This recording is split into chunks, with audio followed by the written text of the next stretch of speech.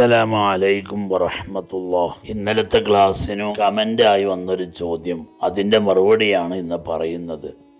ഉസ്താദെ പൂച്ചയുടെ രോമം നജസ് ആണോ? അത് ശരീരത്തിലോ വസ്ത്രത്തിലോ ഉണ്ടെങ്കിൽ നമസ്കാരം ശരിയാകുമോ? ഷാഹിദ വി കെ എന്നൊരു സഹോദരിയുടെ ചോദ്യമാണത്. അള്ളാഹു താല അവർക്ക് ബർക്കത്ത് ചെയ്യട്ടെ. കാരണം അവരിത് ചോദിച്ചതുകൊണ്ട് എല്ലാവർക്കും ഈ ഒരു മറുപടി കേൾക്കുവാനുള്ള അവസരമാണ് ഇവിടെ ഉണ്ടായത്. ഇതുപോലെ തന്നെ നിങ്ങൾക്കും സംശയങ്ങൾ കമന്റ് ബോക്സുകളിൽ ചോദിക്കാം. അത് വീഡിയോ ചെയ്യേണ്ട പ്രധാനപ്പെട്ട വിഷയങ്ങളാണെങ്കിൽ തീർച്ചയായും തുടർന്നുള്ള ദിവസങ്ങളിൽ ആ ക്ലാസ്സുകൾ വരും. വെറുതെ വലിച്ചു നീട്ടാതെ വളരെ പെട്ടെന്ന് അതിന്റെ മറുപടി പറയുകയാണ്.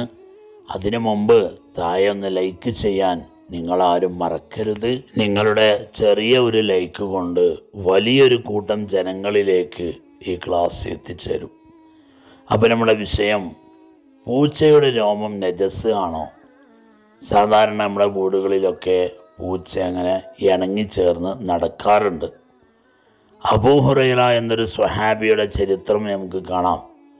പൂച്ചയുടെ വാപ്പ എന്ന അർത്ഥം വരുന്ന ആ ഒരു പേര് മഹാനവറുകൾക്ക് ലഭിക്കാനുള്ള കാരണം മഹാനവറുകൾ ഒരു പൂച്ചയെ വളർത്തുകയും അതിനെ നല്ല രൂപത്തിൽ നോക്കുകയും ഒക്കെ ചെയ്തിരുന്നു. അപ്പോൾ പൂച്ച അതിനെ മുടി ഇണങ്ങി നിൽക്കുന്ന ഒരു ജീവിയാണ്. അതിനെ വെറുതെ ആട്ടി ഓടിക്കുകയോ ഉപദ്രവിക്കുകയോ ഒന്നും ചെയ്യരുത്. നമ്മൾ കഴിക്കുന്ന ഭക്ഷണത്തിന്റെ ബാക്കി അതിനും കൊടുക്കുക.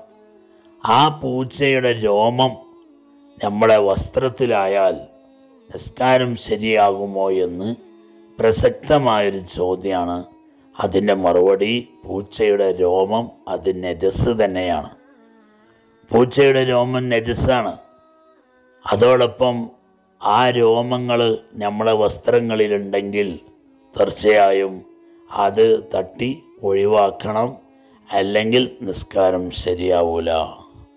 നമ്മുടെ വിരിപ്പിൽ അഥവാ നാം നിസ്കരിക്കുന്ന മുസ്വല്ലയിൽ ആ പൂച്ചയുടെ രോമം നിലനിൽക്കുന്നുണ്ട് എങ്കിൽ ആ രോമങ്ങളെല്ലാം എടുത്ത് കളയണം. കാരണം അത് നെരിസാണ്. അതുപോലെ തന്നെ മയിൽ പീലി മയിലിന്റെ രോമങ്ങൾ അതിന്റെ പീലി അത് പല വീടുകളിലും ഐശ്വര്യത്തിന്റെ ഭാഗമായി വെക്കാറുണ്ട്. തീർച്ചയായും അതും എടുത്തു മാറ്റേണ്ടതാണ്. മയിൽ തിന്നപ്പെടുന്ന ജീവി അല്ലാത്തത് കൊണ്ട് തന്നെ അതിന്റെ പീലി അത് നജസ്സാണ്. ആ നജസ്സായ മയിലിന്റെ തൂവൽ അത് നമ്മുടെ വീടുകളിലോ പുസ്തകങ്ങളിലോ മദ്രസ കിതാബുകളിലോ ഒന്നും വെക്കാൻ പാടില്ല.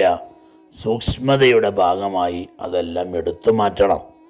അപ്പോൾ പൂച്ചയുടെ രോമം നമ്മുടെ വസ്ത്രത്തിലും നമ്മുടെ ശരീരത്തിലൊന്നും പറ്റിപ്പിടിക്കാതിരിക്കാൻ വേണ്ടി ശ്രദ്ധിക്കണം. അതോടൊപ്പം ആ പൂച്ചയോട് വലിയ വാത്സല്യവും സ്നേഹവും കാണിക്കുകയും ചെയ്യണം.